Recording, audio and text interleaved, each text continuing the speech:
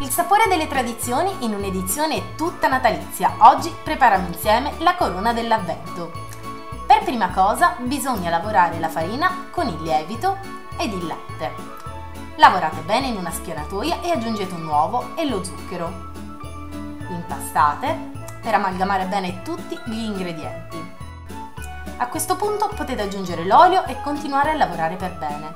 Dovrete ottenere un composto liscio. Trascorso il tempo di lievitazione, stendete con un battarello. Stendete per bene fino ad ottenere un rettangolo. Aggiungete della crema di nocciole e spalmatela in ogni angolo. Arrotolate sul lato lungo, tagliate al centro e formate un intreccio.